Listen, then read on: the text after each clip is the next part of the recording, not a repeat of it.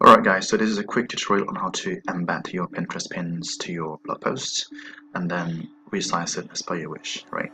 So I go to my Pinterest account and then this is my pin and I want to embed it to my post here, okay? So first click here in these three dots and then click on embed and you'll be taken to a page like this called Pinterest Developers, right? And then you have an option to either choose to hide the description, which is uh, this part, or you can either show it, right? I'm gonna click on hide. And then you can um, select the size. Do you want it small size? Do you want it medium size? Do you want it large size? Right. So I'm gonna be um, choosing the small size. Okay. And the next thing that I have to do is to copy this uh, this code and then paste it in my text know, editor wherever I want that pic to be. Okay. So let me place it here. Let me go to my text editor, not the visual builder, and then I'm going to be pasting.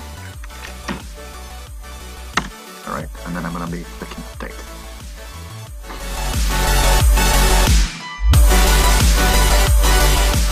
Okay, and then let me view post.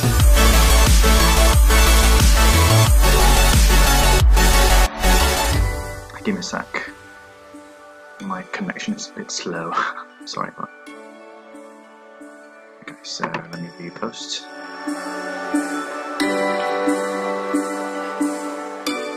And should be there. Hold on a sec. There you go. So I have uh, embedded the image, the Pinterest pin on my photos. Okay. And there's one more thing that do. Um, this code, right? It needs to be copied and pasted just once in the um, in the footer section, uh, which can be done like this. You need to have um, WP footers and I mean headers and footer script installed. Like I have it installed here.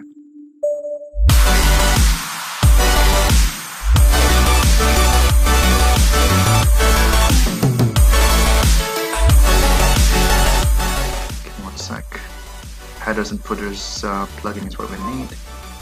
There you go. Right, I have it installed there. Then uh, if I go to settings, headers and footers. So I have that script installed. I mean it here and the script in footer. Okay, it needs to be done just once. Since I've done it already, I don't need to, you know, repeat this process. Right.